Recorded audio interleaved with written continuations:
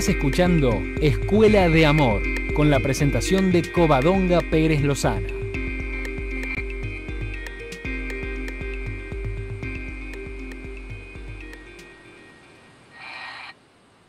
Hola, hola, muy buenos días Argentina, Cono Sur, buenas tardes España.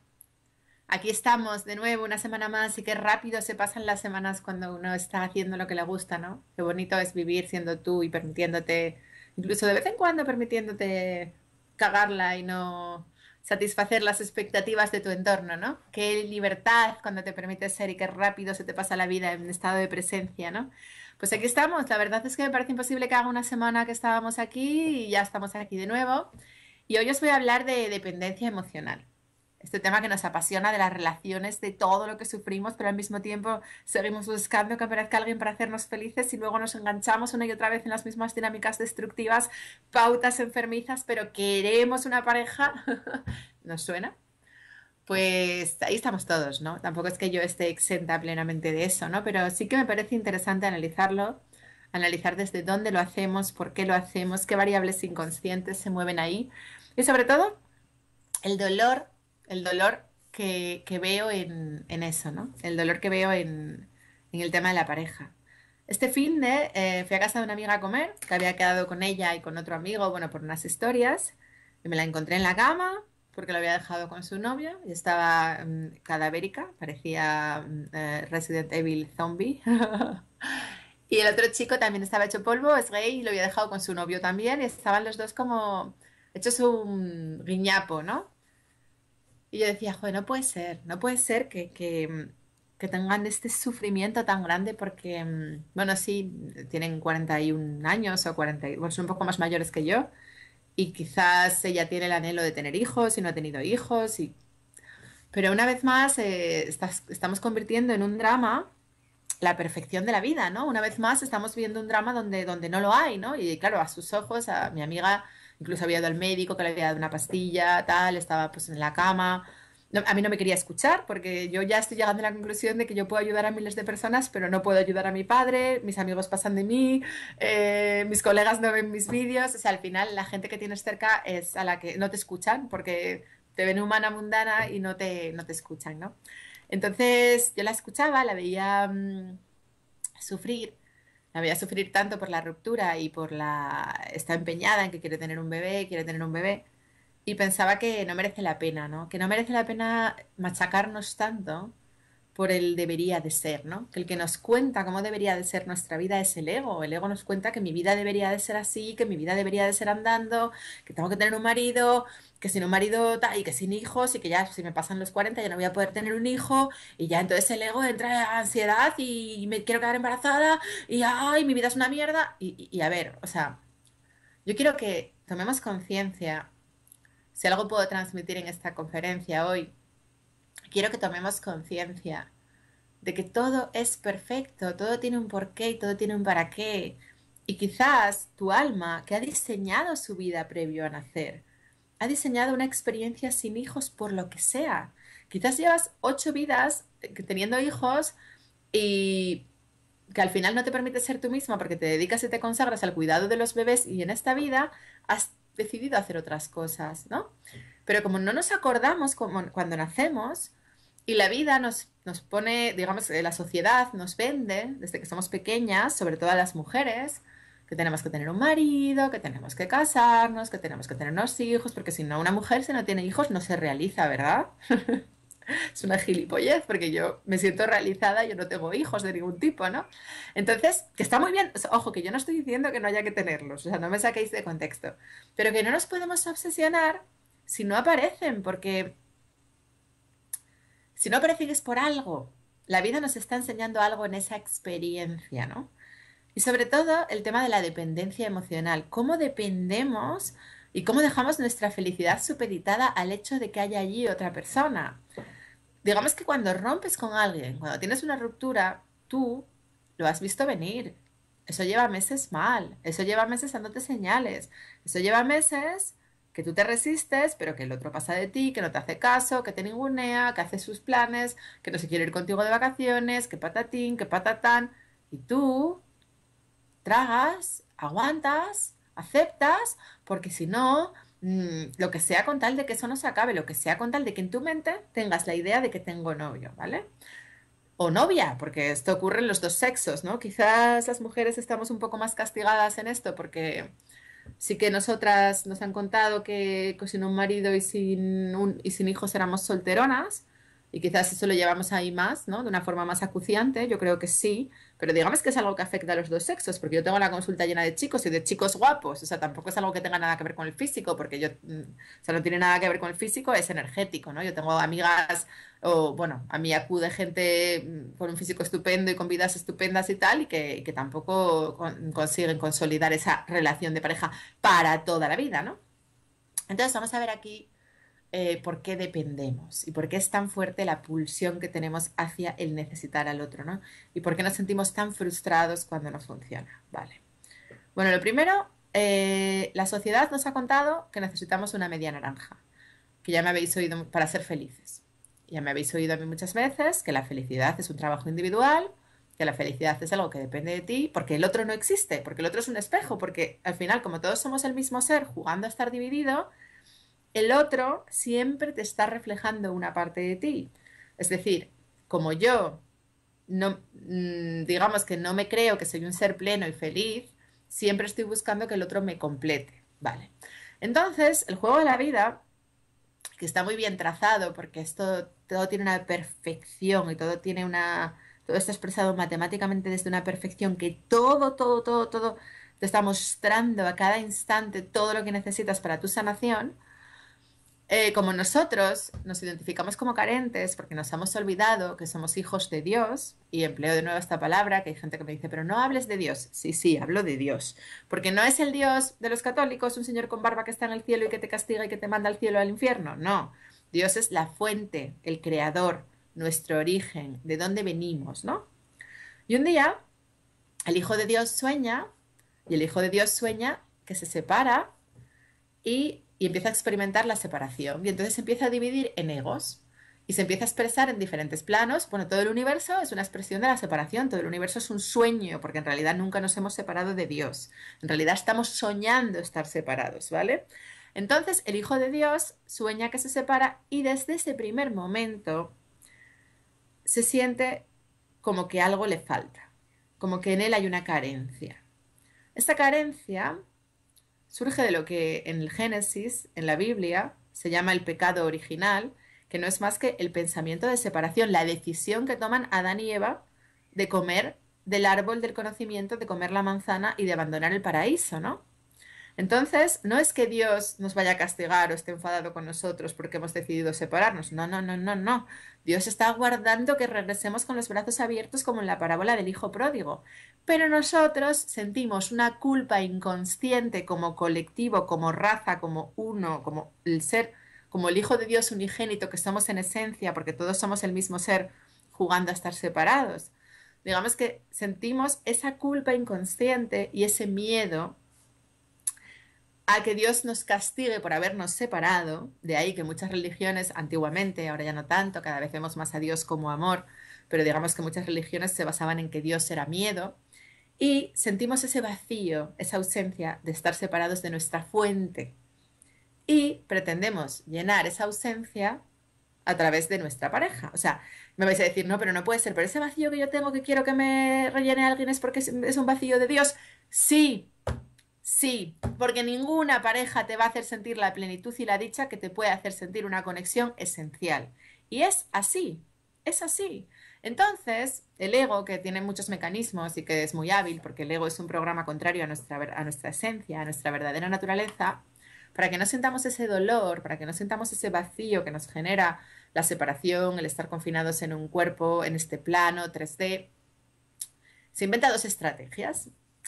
La primera estrategia es la represión, que es reprimir el dolor. Yo siento un vacío, siento un dolor, pero lo reprimo, ¿no? O sea, como si yo tengo un montón de porquería y la meto debajo de la alfombra, ¿no?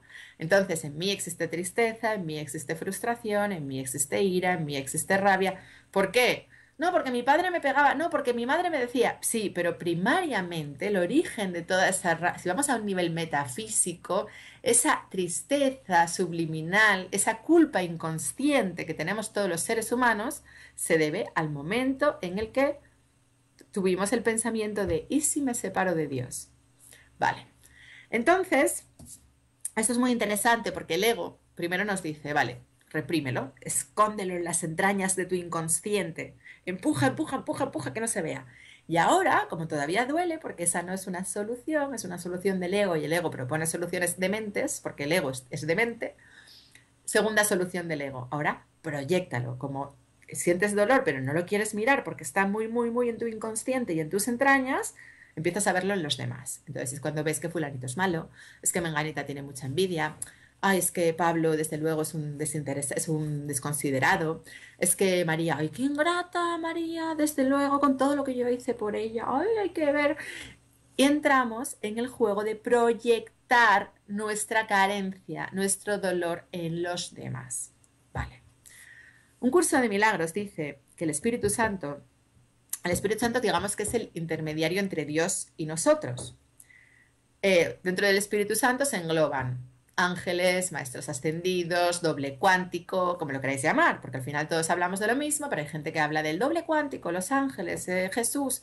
Bueno, pues todo eso es lo que en un curso de milagros, tu yo superior, o sea, todo lo que sea un puente entre tú y Dios, es lo que se llama el Espíritu Santo.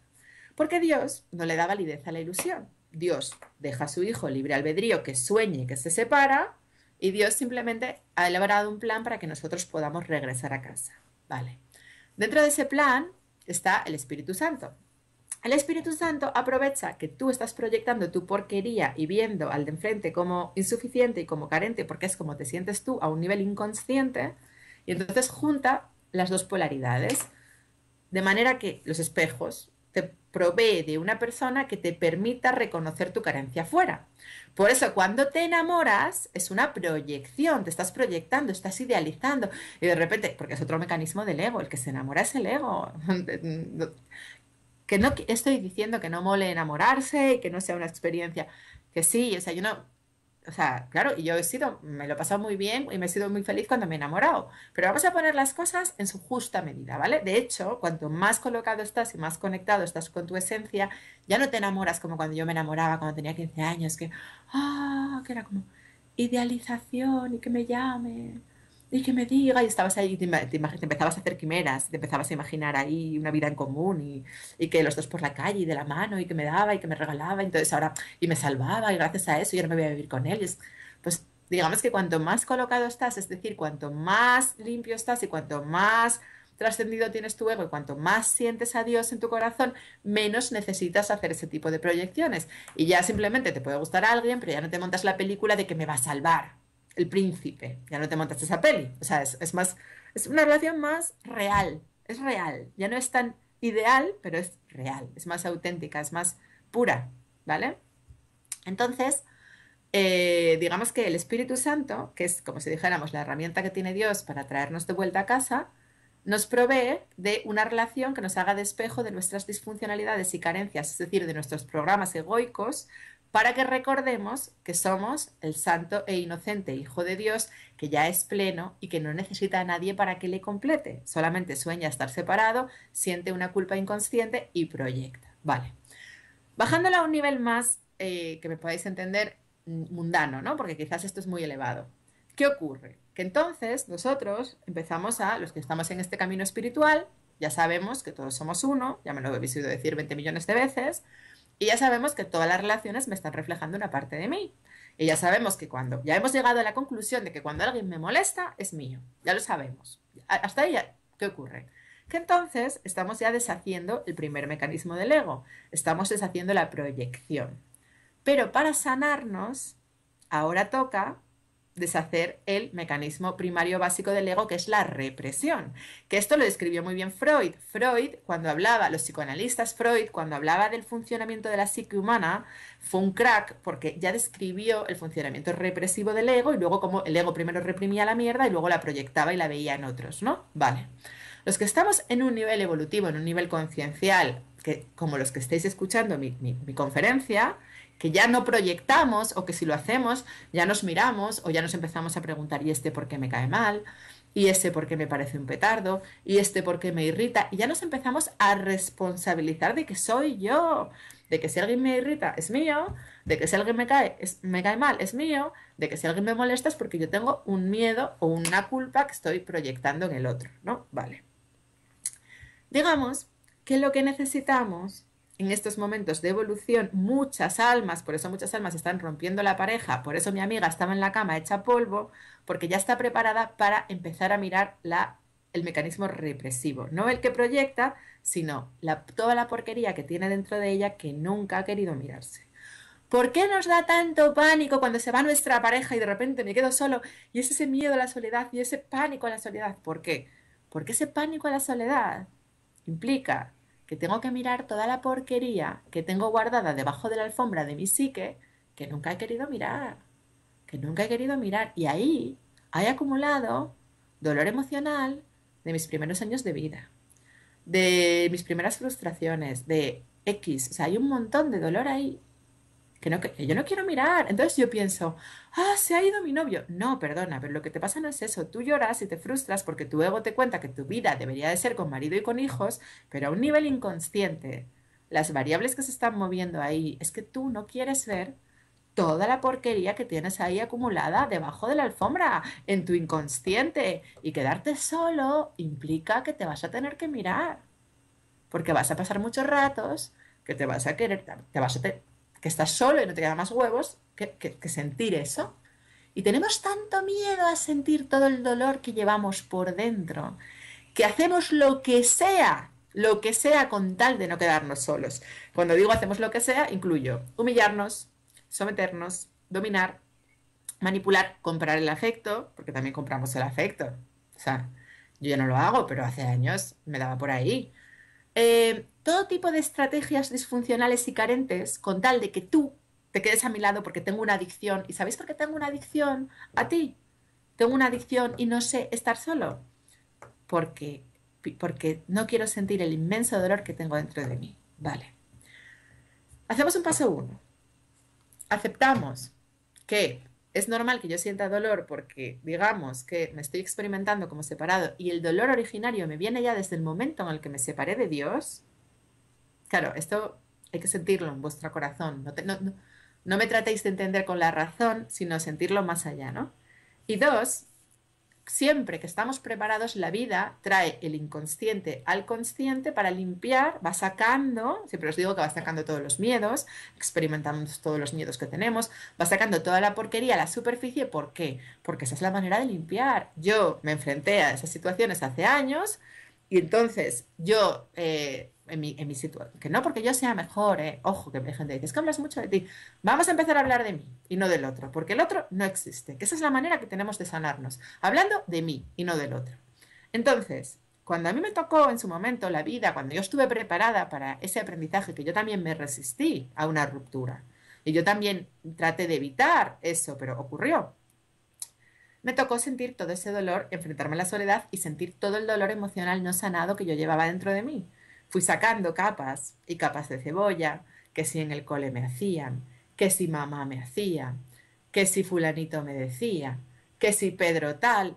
Y fui sacando ese dolor, expresándolo en la vida, la vida me lo iba mostrando en diferentes escenarios que me repetía situaciones, hasta que ya llegué al núcleo duro de no, no, no, a mí ni papá, ni mamá, ni los niños, ni el cole. A mí lo que me pasa es que estoy separada de Dios y a mí realmente lo que me duele es, ese, esa culpa inconsciente que tenemos todos como colectivo de estar experimentándonos negando lo que de verdad somos y negando nuestra naturaleza esencial. Entonces es cuando empiezas a superar esa pulsión tan grande y cuando empiezas a superar la dependencia emocional.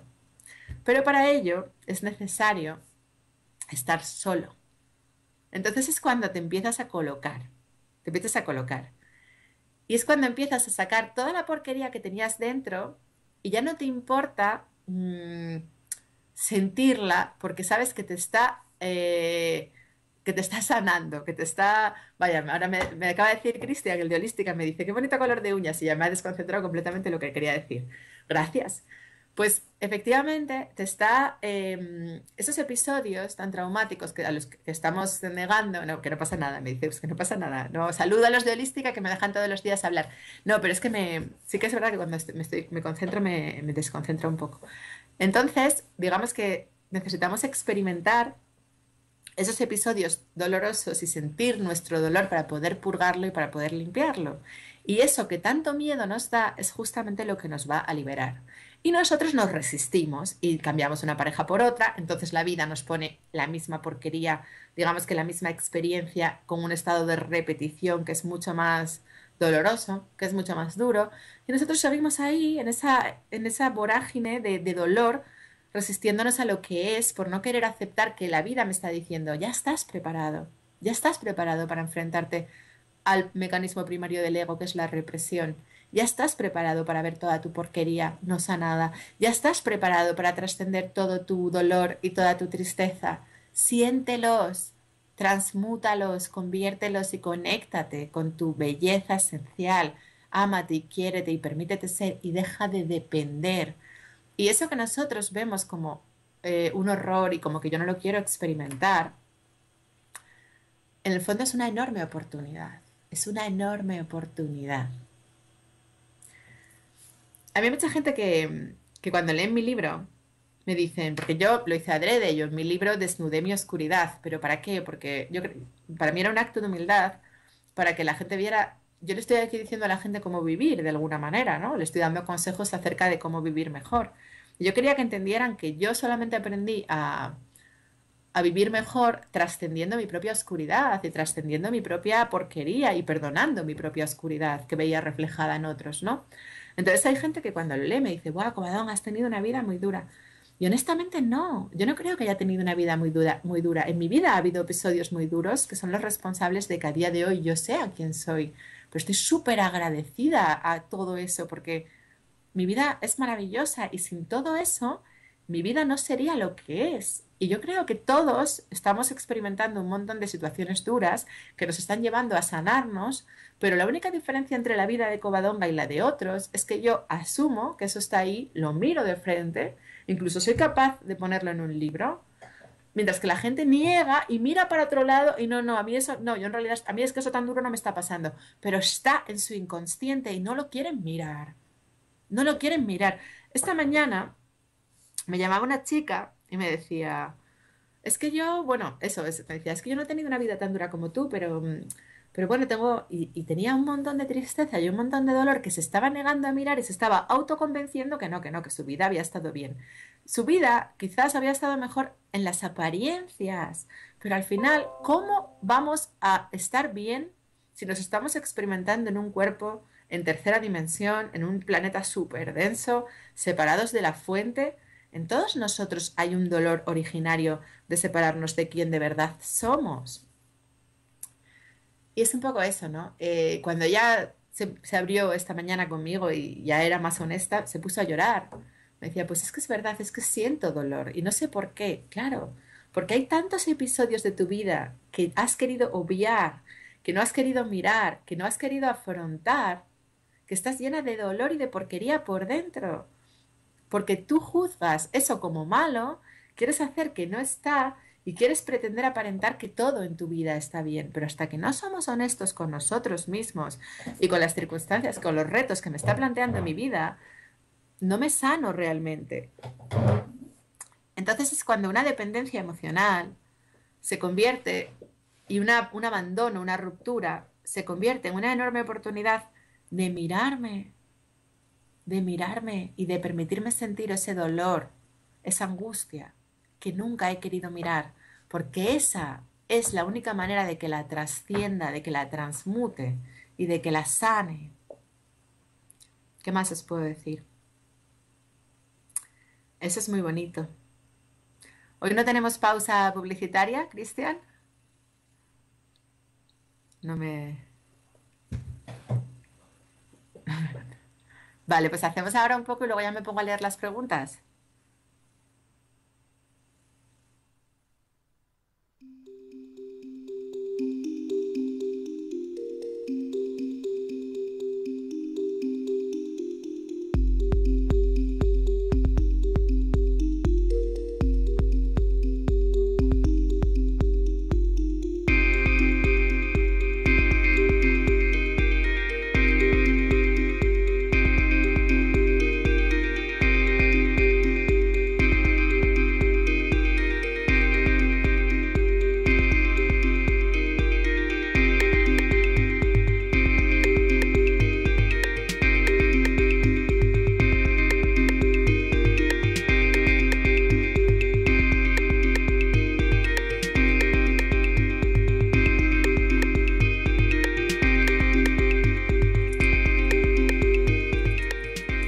Estamos disfrutando Escuela de Amor con Covadonga Pérez Lozana.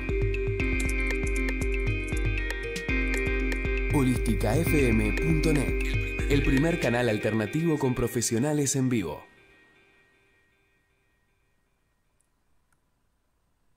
Vale, vamos a ello. Pues ya estamos con, vamos con las preguntas, ¿vale? mensajes antiguos. A ver, porque es que no me caben todas en, la misma página. Hola, Natalia dice hola, que es la primera que entra. Luego entra Mari que dice, oye, conferencia de Covadonga. Yes. Dice Sandra, estará a punto de comenzar. Mari, genial. Blue Mari, hola. Lorena García, hola Coba querida. Hola cariño. Holística FM, ya está Covadonga en vivo, pueden participar con todas sus preguntas. Hola, Mari, hola Covadonga, Tea, hola Covadonga, Marian, hola a todos, hola Coba desde Huelva. Bueno, hola Natalia, a ti te conozco. Vale, pues vamos, vamos a ello, ¿vale? Entonces, Coba, hace unos días me colgué una obsidiana al cuello para que me pusiera delante todo lo que debo sanar y que me está bloqueando. Muy bien. Yo me empeñé en tener un niño y ahora lo cuido sola y no tengo vida propia. Únicamente dedico mi vida a ello. Bueno, pues, cariño, eh, te empeñaste, probablemente la vida te ponía señales de que no, de que no, de que no. Eh, muchas veces el ego nos cuenta que nuestra felicidad va a estar en tener un hijo, es muy bonito que lo cuides y que dediques tu vida a, ayudar a, ese niño, a ese alma, ¿no? Que seguro que te está enseñando un montón de cosas y seguro que es un gran maestro, pero si de paso tú con tu experiencia fueras, no sé, puedes ayudar a otras mujeres, incluso grabar un vídeo explicándoles que un hijo no les va a dar la felicidad, porque hay tantas mujeres desesperadas, de verdad, por tener un hijo, que hacen lo que sea, porque el ego les cuenta que solo a través de un hijo se van a realizar.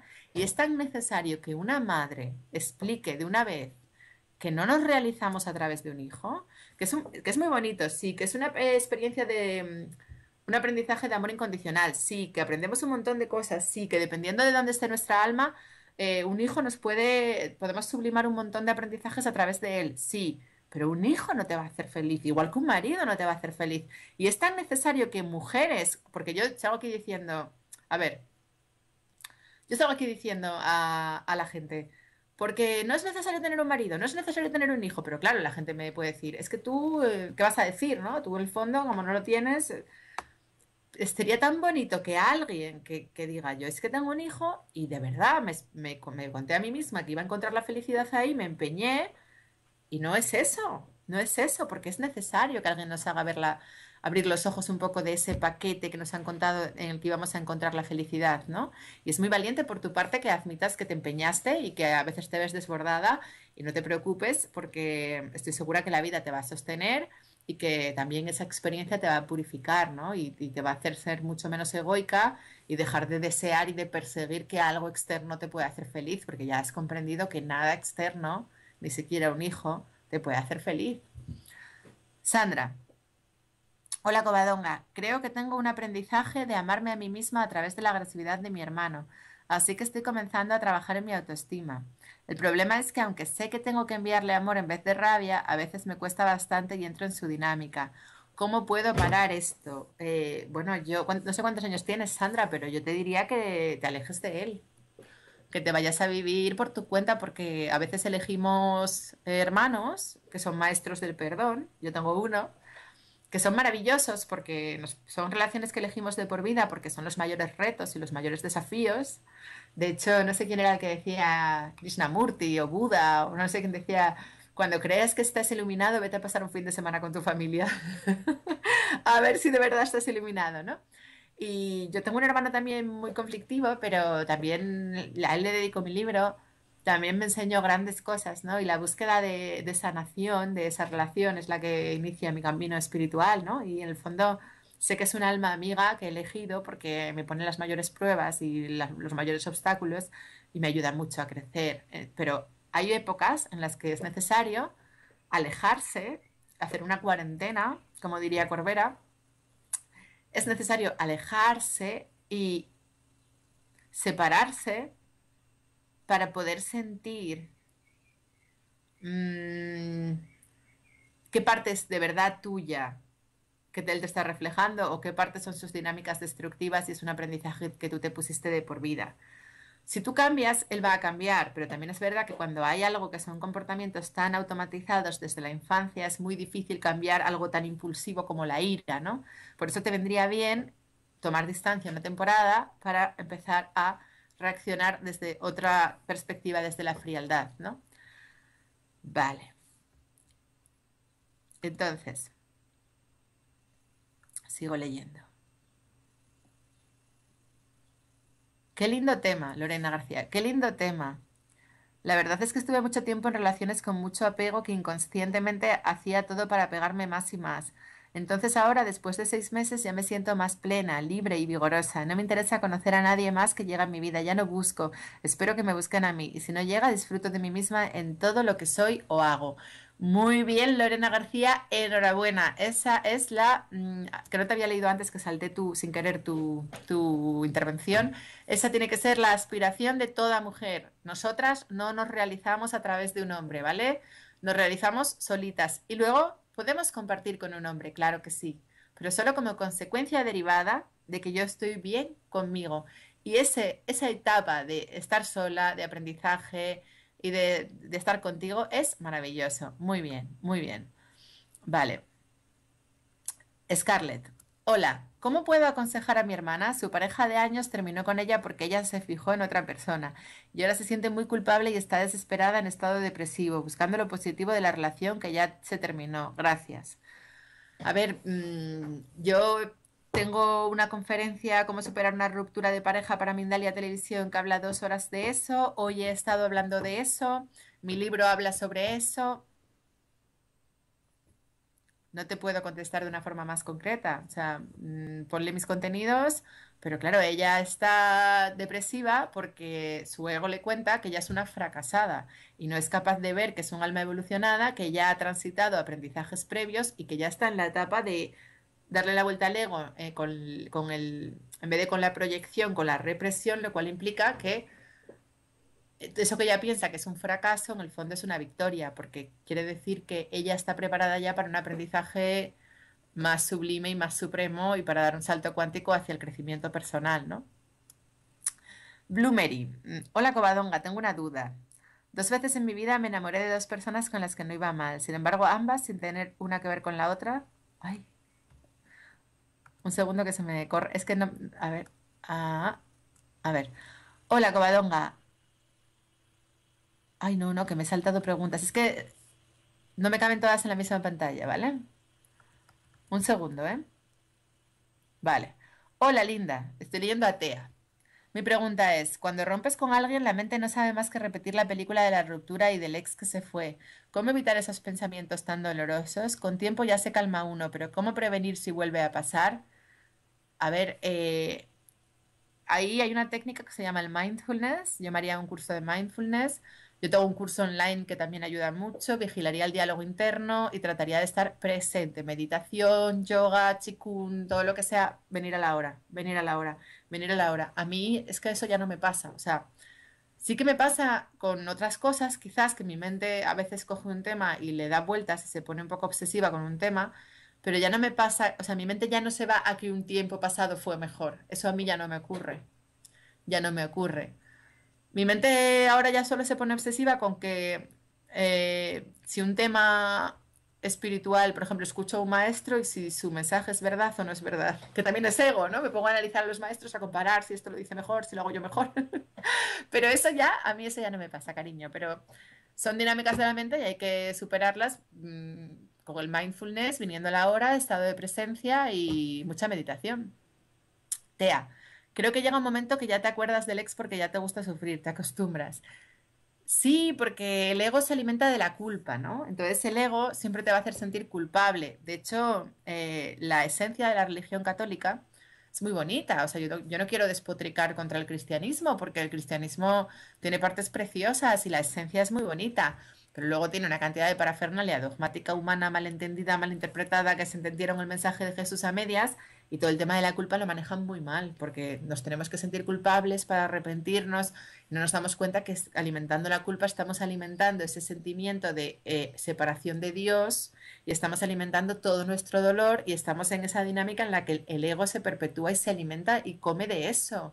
Entonces, sentirnos culpables no nos sirve de nada. Cuanto antes lo soltemos y cuanto antes digamos, mira, no lo supe hacer mejor, pues... Eh, mm, pues es como si yo me veo a mí misma a veces em,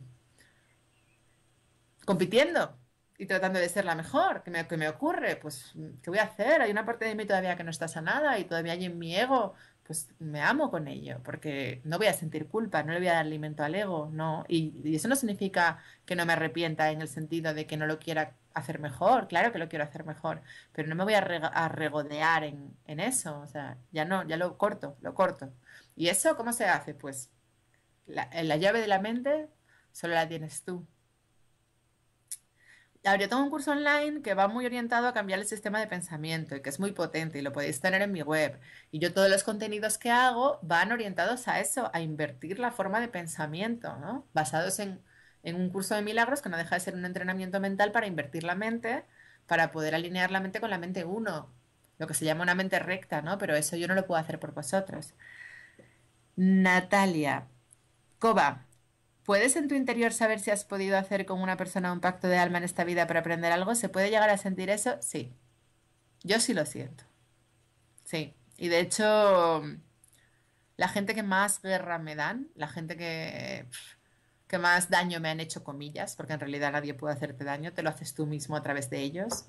Pero la gente que más me han jodido Eh, sé que fueron las almas que más me querían a un nivel metafísico. Porque, mm, por ejemplo, una compañera que tuve cuando yo trabajaba en la industria farmacéutica, que una colombiana, que aquello fue acoso y derribo, o sea, fue por mí a muerte, era un tiburón y, me hacía unas faenas, por no decir putadas brutales.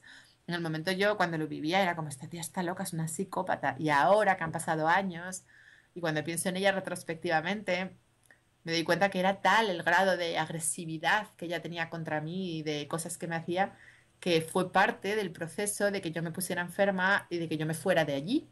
Y que probablemente si ella no hubiera aparecido en mi vida, yo probablemente no hubiera despertado y seguiría trabajando en una multinacional. O sea, en el fondo le tengo que estar muy agradecida, ¿no? Porque mi vida hoy es lo que es gracias a ella. O sea, le decir, wow, o sea, gracias. Pero cuando yo lo experimentaba, eh, era muy duro. Era muy duro porque era realmente se ensañaba, o sea, realmente era psicópata, pero claro, es que si no hubiera sido tan psicópata, yo estaba muy cómoda, estaba en mi zona de confort. Yo quizás nunca hubiera despertado y nunca hubiera tomado la decisión de no quiero seguir trabajando en esto, ¿no? Entonces sí que nuestra alma eh, reconoce. Y ahora sí, yo justo esta mañana pensé en ella y, me, y pensé, hicimos un pacto de almas a nivel metafísico y ella era la responsable de reconducirme a mi, a mi camino del ser, ¿no? Y, y, pienso en ella con amor, o sea, pienso en ella con gratitud. Claro, han pasado muchos años, estoy hablando de esto tuvo lugar en el año 2011-2012 y estamos ahora en el 2016, pero yo pienso en ella con gratitud. Ahora en su momento la odiaba, claro, es un proceso, es un proceso. Ahora pues le agradezco que, que me mostrara el camino, ¿no? Vale, eh, eh, sigo leyendo. Blumeri, la pregunta de antes. Tengo una duda. Dos veces en mi vida me enamoré de dos personas con las que no iba mal. Sin embargo, ambas, sin tener una que ver con la otra, acabaron marchándose a Londres. ¿Qué me quiere enseñar la vida en un caso como este? Hablo mucho tiempo respecto a ellos. Con ambos también me han pasado situaciones contradictorias. A ver, no puedo contestar algo tan concreto con tan poca información, pero generalmente cuando nuestras parejas se van y se ausentan y se van de viaje, tiene que ver o porque nosotros tenemos no sanado un episodio de la infancia con uno de nuestros padres que se ausentó y nos dejó tirados, o porque sencillamente la vida está poniendo tierra de por medio para que nosotros superemos una dependencia emocional porque ya estamos preparados a una experiencia de soledad, de una experiencia más plena de enfrentarnos con nosotros mismos para crecer, ¿vale? Marian, gracias Natalia. Tea, vi un vídeo tuyo, el de la niña interior creo que era, y en la meditación la niña me tenía que dar algo, me dio una flor morada. Después te juntabas con los guías y te salía una luz de color violeta de sanación. Me quedé asombrada. La flor que me dio podía ser referente de esa sanación, claro. el color violeta, el color violeta es el rayo de la transmutación, claro que sí. Me quedé alucinada con esta casualidad. No es casualidad, Tea, es María. Hola, Covadonga, no puedo perdonar.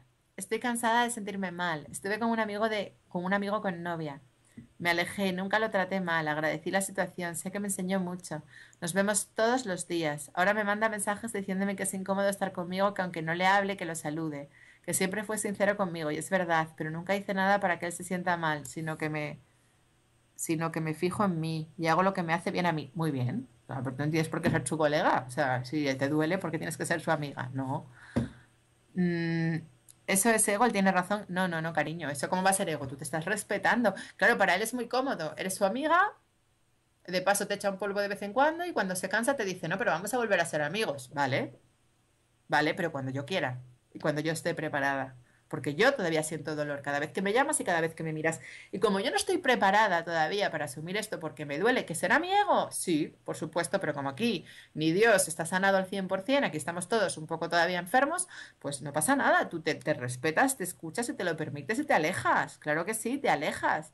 Y que él no te lo venga a echar en cara y que no te sientas mal. O sea, tú necesitas un tiempo, es lógico, por muy amigo tuyo. A ver, tú necesitas un tiempo de, de, de restablecerte, porque tú te acostaste con tu amigo, tu amigo te dijo, mira, es que para mí eres amiga, vale, perfecto. Entonces, para la próxima, si solo soy amiga, te vas a meter la polla a otra parte, lo primero, ¿vale? Pero bueno, pasó y pasó. No le vamos a juzgar, ni te vamos a juzgar a ti, ni te vamos a culpar. Pero date un tiempito, cariño, de estar tú contigo para restablecerte, para no verlo y sentir dolor. Y no te sientas mal porque no le hagas caso, porque es lo que necesitas en este momento. ¿Vale? A ver, eh, eso es Eva, él tiene razón. Encima que tengo que ver que ya está con otra chica enfrente mío. No tienes por qué verlo eso. Quiere que lo salude y me quede ahí como antes. Pues no. Sé que el problema no es esa chica ni cualquier chica linda que me haga sentir inferior. Soy yo y la falta de amor hacia mí. También sé que no quiero estar con él, pero qué ego tengo, no logro tener paz. ¿Cómo trabajo mi autoestima si todos los días veo lo mismo? Por favor, ayúdame, gracias. Bueno, pues no te no te exijas a ti misma ser amiga de él, porque en el fondo en la exigencia que él te representa es un reflejo de tu propia autoexigencia, que quiere ser perfecta, que quiere estar iluminada ya, y eso no existe. Y quiérete mucho cariño, trátate bien, vigila tu diálogo interno, como te hablas a ti misma, y date muchos mimos, ¿vale? Date muchos mimos y relájate y deja de hablarte mal a ti y, y tranquila, ¿no? Tranquila, tranquila. Alexa, hola Coba, Quisiera saber qué me está mostrando la vida o qué debo sanar si las relaciones sentimentales que he intentado tener fallan porque me buscan solo por motivos sexuales. Gracias, Coba, bendiciones. Quizás que tú intercambias el sexo como manera de obtener afecto. Vigila eso, ten cuidado con eso, porque a veces inconscientemente nosotras, como para obtener afecto, eh, utilizamos el sexo como herramienta de intercambio y la vida nos lo muestra, ¿no? ¿no? Entonces aparecen solamente tíos que lo único que quieren contigo es echar un polvo. Pero claro, eso lo estás creando tú. Entonces, mm, observa eso. O sea, observa si tú intercambias eso, si tú seduces. Mira, ¿sabes a quién le pasaba eso? Te voy a poner un ejemplo, a Marilyn Monroe. Marilyn Monroe era una mujer, porque yo estuve leyendo su bio porque quería entender su... Bueno, un día eh, pusieron por la tele el, la película esta de Una semana con Marilyn. Y la vi así, pero la vi desde la perspectiva de analizándola como mujer, ¿no? Y bueno, me puedo equivocar, pero estoy haciendo un análisis, un juicio, mi opinión acerca de lo que le pasaba a Marilyn, ¿no? Y Marilyn fue una niña que, mm, que de niña fue adoptada porque su madre, su madre, bueno, su padre era noruego y la abandonó y su madre estaba muy ocupada trabajando porque, con lo que podía porque no tenía medios y entonces la pseudo dejó, o sea, no es que la dejara en adopción, pero prácticamente en casa de unos conocidos, ¿no? Bueno, pues estos conocidos ya tiene, Marilyn ya fue abusada de niña, de adolescente otra vez. Entonces Marilyn eh, utilizaba la seducción ya desde niña para hacerse querible. O sea, su herramienta para que la quisieran era seducir. Era una seductora, era una gran seductora, ¿no? Entonces ella mm, al, padre adoptivo lo seducía. ¿Qué, ocurrió? Que acabó violándola, ¿no? Entonces tenía mucha carencia ahí. Y ella no era capaz de abandonar la seducción, ¿no? Tuvo un primer marido, claro, yo leía la biografía y me partía, porque yo lo entendía, lo veía desde el espejo, ¿no? Tuvo un primer marido que se enfadaba con ella porque ella era modelo de calendarios y le pidió que dejara el modelaje. O sea, la vida dándole una señal que dejara la seducción, que ella era digna de amor, que no, no tenía que buscar la seducción para, para, que la quisiesen, ¿no? Ella ya era digna de amor sin seducir, pero ella no fue capaz de verlo, entonces no fue capaz de dejar esa adicción que ella tenía, esa estrategia del ego para llamar la atención, para sentirse querida de seducir. Entonces este marido y ella acaban dejándolo, ¿no? Entonces se casa con, con otro que era un deportista de la época, en aquella época ya era ya famosa, con la seducción había conseguido mucha atención, mucha visibilidad, le servía esa estrategia del ego. Yo ya os digo que las estrategias del ego nos permiten sobrevivir, pero no nos hacen felices, hay que soltarlas. Son estrategias de supervivencia.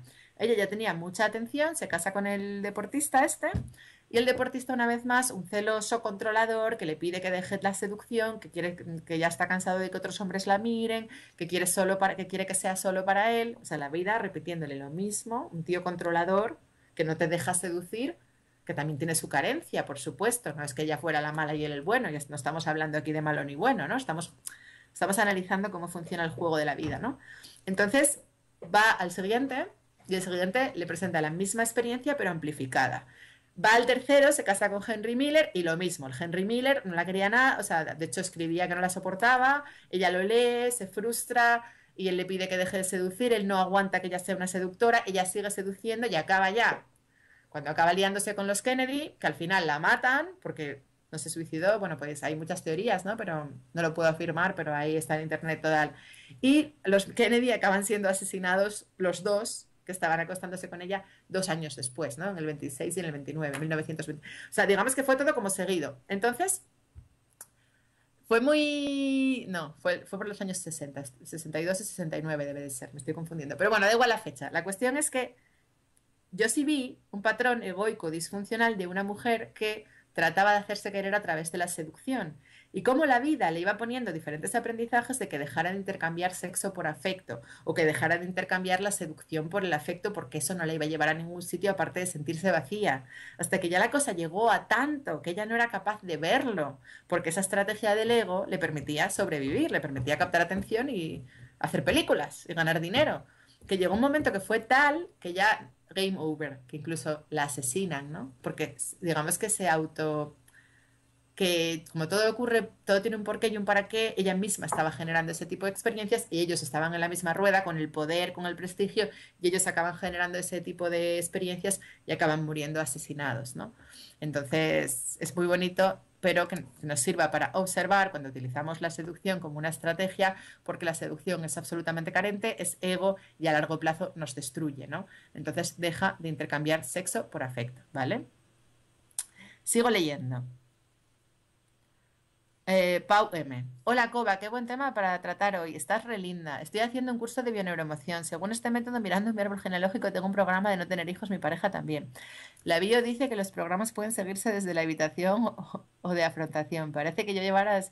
Bueno, em, yo eh, no tengo claro o sea, sí sé que llevamos programas de nuestros ancestros en el sentido de que expresamos, pero a mí eso de que es de mi bisabuela y no es mío no me, no me vale. O sea, yo todo lo estoy creando yo aquí y ahora, yo todo lo soluciono yo desde el aquí y el ahora. A mí, entonces, eh, yo no soy la persona para hablarte de bioneuroemoción. Esa consulta a Enrique Corbera, ¿vale? Es que, es que me encanta Enrique, estoy de acuerdo con él en todo, me encanta todo lo de un curso de milagros, tenemos una forma de pensar muy común, pero ahí me gustaría tener una conversación con él porque hay una parte que no veo y no sé si es que mi ego no la quiere ver o, que él se equivoca. Ahí tengo yo un conflicto con, con Enrique. Mariam, eh, Coba, siento que con mis amigas la cosa ya no encaja como antes. Me siento diferente y muchas veces juzgada o apartada. Siento que la vida me pone estas actitudes delante para que tome decisiones, pero ¿cómo sé que es mi alma y no mi ego el que dice aléjate? Mi mente me hace dudar. De hecho, decido no hacer nada y observar qué ocurre. Y ellos pasan de mí olímpicamente y a mí aún me da apego al alejarme porque si me estoy equivocando, ¿qué opinas? Sé que es mi ego el que me hace dudar. A ver, siento que, que con mis amigas la cosa no encaja como antes. Normal, normal porque Cariño, porque tú estás creciendo, estás despertando y quizás tus amigas no sigan el mismo equilibrio, no siguen la misma historia, ¿vale? Em, me siento juzgada o apartada, es tu miedo, cariño, lo único que te juzga es tu miedo. Siento que la vida me pone estas actitudes delante para que tome decisiones, pero ¿cómo sé que es mi alma y no mi ego el que me dice aléjate? A ver, tu ego te está diciendo aléjate porque tienes miedo. Entonces tu ego, desde su miedo, quiere huir porque se está sintiendo apartada de su grupo de amigas y quiere huir. Tu ego quiere huir, pero también es tu alma el que es la que está creando esa situación. Entonces son los dos. O sea, tu alma te está, tú tienes un miedo al rechazo que lo vas a experimentar y lo vas a vivir y va a ser muy bonito porque lo vas a trascender a través de ese rechazo. Tu ego te dice, antes de suspender el examen, no te presentes, antes de que te echen del grupo, vete tú. El ego te propone la estrategia de huida. Yo no huiría, yo me quedaría ahí, pero iría asumiendo que lo estoy creando yo para mi mayor bien, que tengo que tratar de trascender ese miedo desde la paz sin sentirme pequeña, sin sentirme carente, entender que es una fase, es una fase de la vida y comprender que a veces los amigos vienen y van, que también estoy practicando el desapego, confiar en que todo va a ir bien y dejar de esperar que me acepten, porque es un reflejo de tu propia falta de aceptación interna, de tu propio, de tu propio juicio interno hacia ti misma, ¿no? Entonces, es un poco eso, ¿vale, cariño? Relájate, eso yo también lo viví, lo cuento en mi libro, esa fase. Eh, es una fase muy bonita, muy dura, porque te quedas sin colegas, pero también es una fase que te hace crecer un montón y que te hace reconectarte con tu esencia, ¿no? Marian, ¿a alguien más le falla el audio? Ah, vale. Natalia, a mí me va bien, gracias Natalia. Ah, vale, es el gracias Natalia, es que lo estoy leyendo, es que no sé por qué, ah, es porque escribís muchas veces, entonces se va para la otra página. Vale. Pamela España, felicidades por tu libro y por compartir tu experiencia. Estoy leyendo tu libro y hay momentos que eh, de tus experiencias tan iguales y tus a ver, y hay momentos que de tus experiencias tan iguales y tus ciertas palabras he llorado. Vale, estás viviendo experiencias similares a las que lees en mi libro. Gracias, Coba. Gracias a ti, Pamela, por tus palabras, porque para mí sí que es importante que la gente me felicite por el libro, porque en el libro yo desnudo mi alma y hay que ser muy valiente para hacer lo que, lo que yo he hecho. Y no todo el mundo puede hacer algo así y me siento muy bien conmigo misma de haber escrito eso y, me gusta sentir que a pesar de lo duro que fue para mí desnudar mi alma, eso ayuda a otras personas, porque realmente fue un acto de amor, porque yo no necesitaba desahogarme, yo lo había trascendido, realmente lo hice por ayudar, ¿no? Entonces, em, a ver, yo creo que cuando das no tienes que, esperar obtener nada a cambio, ¿no? Pero supongo que mi ego, em, que dio en ese libro, necesita saber que eso le sirve a la gente, ¿no? O sea que gracias, ¿eh? porque eso a mí me emociona sentir que realmente te llega y que realmente te ayuda, y que realmente te ayuda a transmutar tu dolor, ¿vale? Natalia, cuando encuentras ese núcleo es cuando realmente te empiezas a amar a ti mismo y te crees merecedora del amor, exacto. Yo he llegado a ese núcleo recientemente, merece la pena levantar la alfombra y sacar la porquería. Bravo, eso es. Mari, ¿experimentar sexualmente se puede considerar mundano cuando ya has empezado a vivir tu proceso conciencial en el que el cuerpo es un instrumento para la expansión espiritual? Gracias de antemano. A ver, el cuerpo es un... A ver, eh, si tú realmente te pones a hacer tantra desde la espiritualidad y a experimentar con el sexo y tal, perfecto, pero como al final es lo que te está contando tu ego, porque tú lo que estás haciendo no estás experimentando sexualmente, sino que te aferras a, te echar un polvo con alguien porque no te sientes digna de amor y te cuentas a ti misma que en el fondo te da igual, que solo quieres sexo, porque ¿qué ocurre? Que yo creo que la energía sexual es algo muy puro que tenemos, ¿no? Porque es la energía de la creación, es la energía más pura que existe. Y yo estoy súper conectada en la vida, a la vida y, y, reboso sexualidad y tengo muchas ganas siempre de hacer el amor. Pero como ya os dije muchas veces, yo ya me pienso muy mucho con quien tengo un contacto sexual y para mí ya tengo que hacerlo dentro de un marco en el que haya amor. Porque si no, para eso, si no hay amor, lo hago conmigo misma y me quedo tan... siento hablaros así, pero esa es mi opinión personal. O sea, yo no entiendo andar experimentando sexualmente con gente con la que no hay amor. En mi mente, tú estás expresando una contradicción. En mi mente, eso es contradictorio. Natalia, Coba, he aprendido mucho gracias a ti. En mayo empiezo a formarme como coach transpersonal profesional gracias a ti y a animarme a hacerlo. Te veo pronto en el Love to Win de Sevilla. Ay, gracias, cariño, qué bonito eso que me dices. Nos vemos en el Love to Win de Sevilla. Marian, Coba, tú sabes lo importante, alentador y sanado saber que estás allí al otro lado, gracias a Holística y así poder compartir y preguntarte esas dudas que me van surgiendo en el camino. Os lo agradezco muchísimo. Y yo os agradezco a vosotros que estéis aquí porque a mí también me, sana, ¿no? Hacer esto, ¿no? Yo, la primera que se lo estoy contando es a mí misma, ¿no? Andrea, gracias de antemano si puedes responderme. Últimamente solo se me acerca gente contándome sus historias de desamor y a veces me agobian porque todo es sobre la dependencia. Todo es sobre la dependencia. Y sé que la tengo y estoy tratando de superarla. Escucharlas me incomoda más porque no quieren oír que es dependencia. ¿Debería dejar de oírlas y ya? No sé, igual te está diciendo la vida que,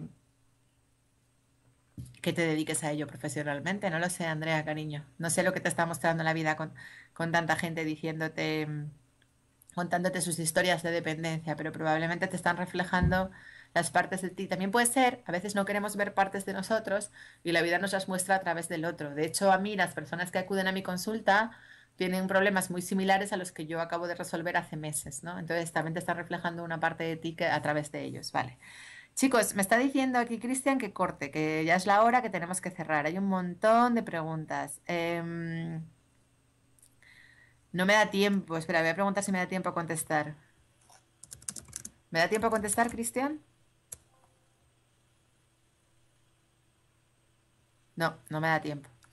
Pues nada, os mando un beso a todos. Siento, no, el Love to Win de Sevilla es el último fin de semana de mayo, 28 de mayo. Un abrazo enorme. Gracias a todas por estar ahí, chicas. Que hoy no tenemos a ningún chico, son todos chicas.